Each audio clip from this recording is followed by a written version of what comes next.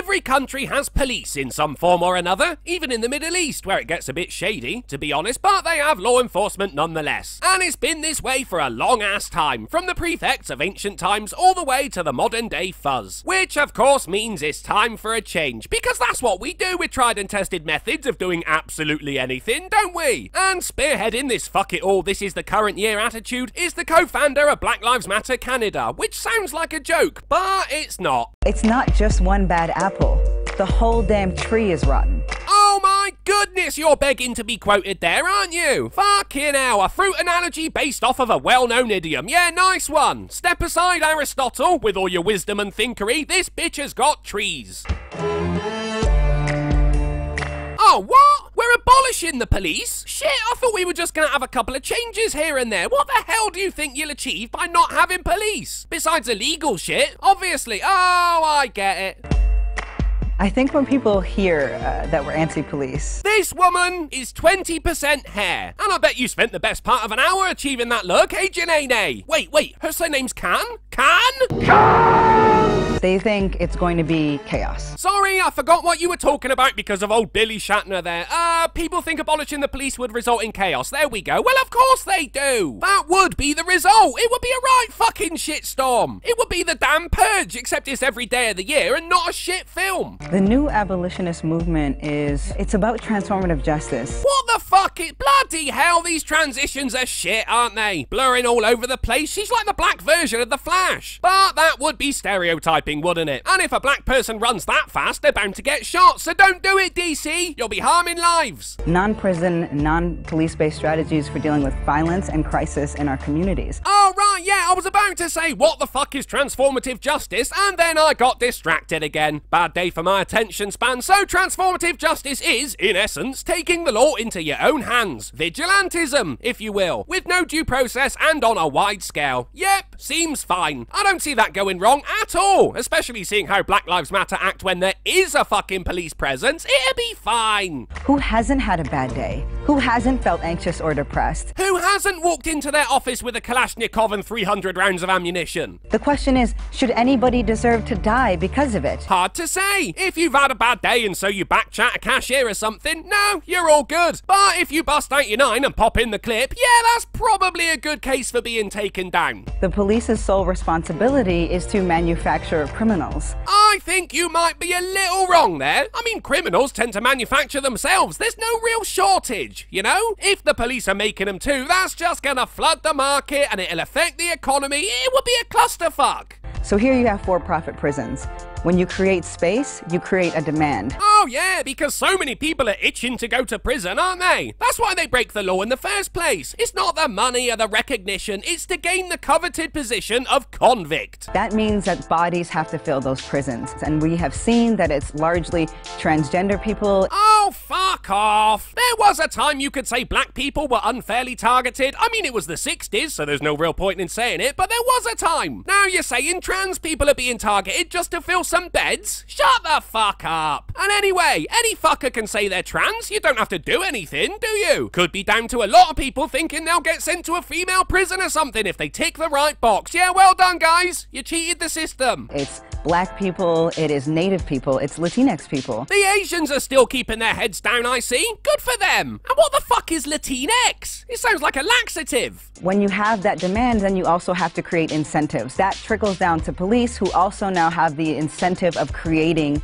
criminals. Oh, as if they don't have enough on their plates. Underpaid, understaffed, and now they have to take on more duties. Fucking ridiculous. I hope they at least get a decent commission out of it. It's not about justice anymore, it's about profit. If we were in the original Robocop film, Janene, I'd agree with you. But we're not, and therefore I don't. These for-profit prisons are, sure, and why not? There's good labour to be had there. You've basically got yourself some legal slaves, haven't you? Ha! A video from a Black Lives Matter activist, and I'm the one who brings up slavery first. Fucking mental. I think we start with the demilitarization of the police. Police don't need assault weapons to protect people. They do if other people have assault weapons. Makes sense then, doesn't it? And a lot of fuckers do. I mean, it seems like shooting up a room full of people is the latest craze. Like being the first to buy the new iPhone, but it only costs you your life and not your life savings. The second thing that we can do is really look at police budgets. Oh, for fuck's sake, we're talking budgets? What exactly do you do for Black Lives Matter, Janae? Are you the fucking accountant? And you better be arguing for increasing the budgets because those poor fuckers have to manufacture the criminals and arrest them now, remember? So, I mean, that's double the work they're doing. And create models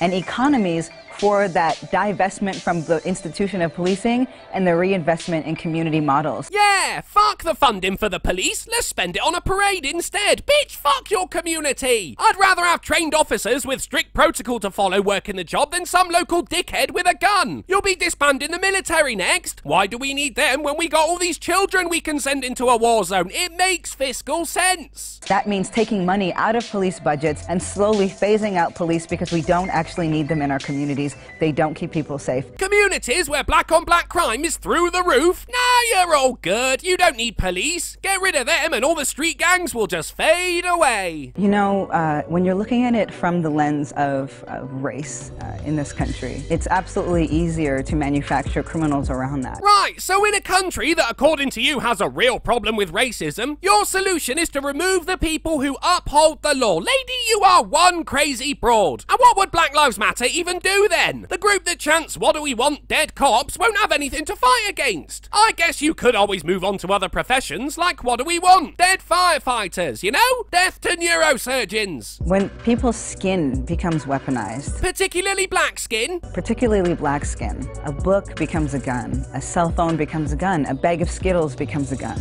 Damn, that kid is packing! A book that turns into a gun? I have to admit, I've not read that one, but I want to. We don't have some personal war with individual police officers. Oh, that's good. You've not been calling for the killing of individuals, you've been calling it for police officers as a whole. That's fine then. But I'm sure you weren't one of those people, Janene. You don't want to kill cops, you just want to make them all unemployed. What we do have is deep concern and a fight against the institution of policing. Undocumented communities know that they can't call the police. I'm guessing undocumented communities means groups of illegal immigrants, yeah? In which case, they can call the police when they need them. I mean, it's not like they'll get executed on the spot. Calling immigration, though, that would be a stupid fucking move. In the event that crisis happens, uh, a lot of black communities know that too. And so entire mosques Whoa, whoa, don't just throw that in there and move on. Why can't black people call the police? I get why an illegal would be reluctant. I mean, it's not exactly staying under the radar, is it? But why a black person? Unless they're a criminal themselves, which would be attributing certain behavior to an entire ethnicity, and that's racist, Janene. You're racist. uh, churches, uh, communities, they have agreements where they won't call the police should something happen. Yeah, like when someone in a mosque learns that someone else in the mosque is planning on blowing up a shit ton of people. Very fucking quiet then, aren't they? No involving the police then. Isn't what you just said the model you want for everywhere? Because if these communities are sorting out all these crimes without the help of law enforcement and these crimes are still occurring, they're doing a fucking shit job of it, aren't they? They're crap. And in its place, we've seen such a wonderful and diverse response. Oh, diverse! We love a bit of diversity, don't we? It doesn't mean what you think it means. Diverse no longer means varied. It means good. When it comes to uh, intervention in our communities, I'm gonna play that last part again because I chatted shit all over the bit I'm about to mention, but look carefully at this. Wonderful and diverse response when it comes to uh, intervention in our communities. You see that? Jump cut in the middle of the sentence. She didn't say that at all. Busted, Janene. We've seen people rise up with trainings around mental health crisis, uh, intimate partner violence crisis. We've seen rapid response justice teams. Rapid response justice teams. Now that sounds fucking scary, doesn't it? Nothing quite makes your testicles retreat inside you like a mob turning up on your doorstep looking for justice. And I think that's really what we need to be building. Revolution isn't just the ending of something, it's the beginning of something new. Oh, is that it? That was an abrupt ending. She's right, though. Revolution can mean something new, as well as when something completes a full rotation. Only in this case, the something new will be mob rule. And mobs tend to have a bit of a habit of getting things wrong, don't they? Like in Edward Scissorhands or Beauty and the Beast. Not so much in Nightmare on Elm Street, though. That Freddy Krueger was a bad man. All those parents were onto something with that one. But it was still murder. I wonder if they ever got prosecuted for it. Nah, I guess we'll never know. So there we go, kids. The perfect policing model, just without the police. And it's not really a model, and it's far from perfect. Thanks for watching, guys. Please consider becoming a patron so I can pay my private militia. And check me out on VidMe, which is a lot like YouTube, except it doesn't constantly screw me. The links are in the description, and remember, people get battered because Black Lives Matter.